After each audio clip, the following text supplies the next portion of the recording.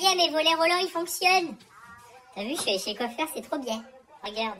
Bon, faut pas se soucier encore des trous que j'ai pas fini de reboucher et glisser, poncer, machin. Mais en gros, quand t'as plus là, regarde. Hop. Ça marche, regarde. Attends, je recule pour te faire admirer la beauté de qu'est-ce que j'ai fait. Ça marche ou pas? Oui. Parce que c'est- nouveau, alors j'ai peur que ça coince.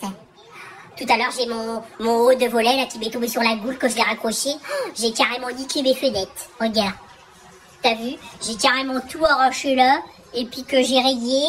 Et j'ai même fait un trou, toi, dans mon plafond là. Parce qu'en fait, euh, j'ai fait une bêtise. J'ai tapé le volet sur le plafond. Bref. Regarde que ça marche bien. Regarde, il va s'arrêter tout seul là. Hop, hop, hop, hop, hop. Hop. Voilà. C'était mes volets roulants que j'ai bricolés.